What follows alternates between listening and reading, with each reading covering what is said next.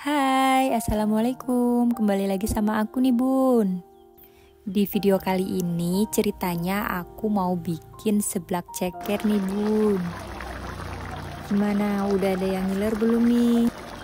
Tonton videonya sampai akhir ya bun. Pertama-tama aku rebus cekernya dulu. Ini aku tambahkan daun salam ya. Untuk toppingnya ada jamur enoki kemudian ada sawi yang pasti ada ceker ada bakso terus ada perkupukan ya itu ya tadi.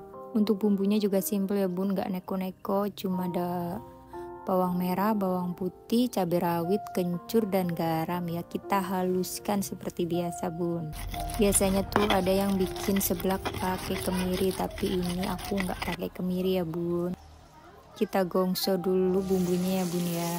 Sampai benar-benar mateng. Kemudian kita tambahkan satu butir telur ayam ini ya bun.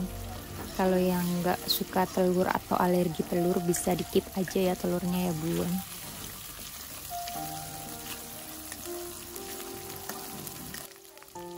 kemudian aku tambahkan air secukupnya ya bun.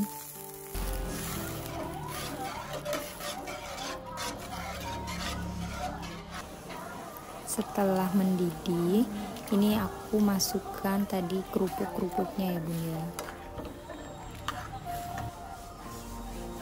Nah kemudian kita masukkan peran utamanya nih ceker ayam ya bun ya jangan lupa dikasih kaldu ya bun ya. Bisa micin atau masako atau kaldu jamur atau yang lainnya ya bun ya sesuai selera.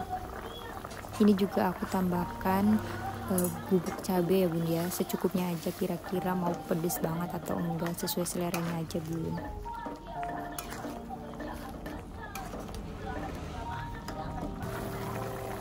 Lanjut kita masukkan baksonya ya bun ya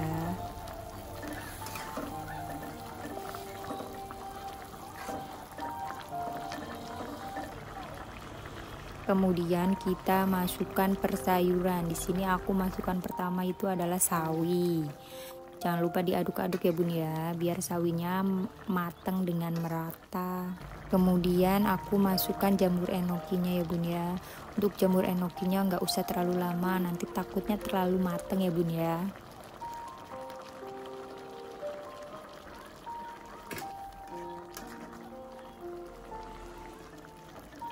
aduk terus ya bun sampai semuanya matang merata ya bun ya. Jangan lupa dicek rasa sudah oke sudah cocok dengan lidah sendiri atau belum ya bun ya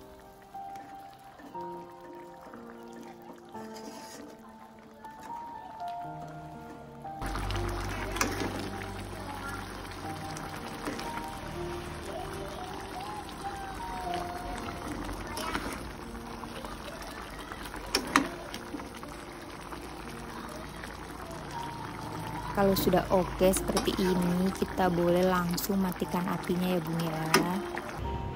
Kira-kira penampilannya seperti ini ya bun. Gimana ngiler nggak nih bun?